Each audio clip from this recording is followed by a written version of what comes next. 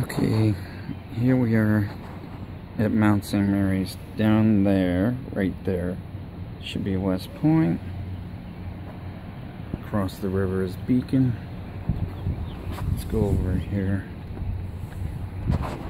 We were actually, when we first came to Beacon, we were looking for getting a house there because half the houses were built there on lots.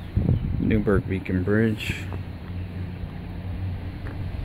And uh, yeah, really nice. Over in Beacon got uh, that's like uh, housing control housing and stuff like that. Trees in the way I think the train station's right there. This is uh, the Dia Center the art center the uh, art museum where it's modern art that won't fit in anything else. But uh, yeah over here so thought I'd get the view. There was some older guy doing the same exact thing.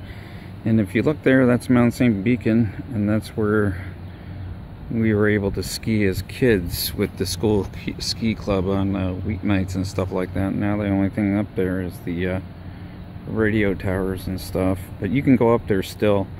But you can still see the ski trails. You can see this one and then this one and those going down like that.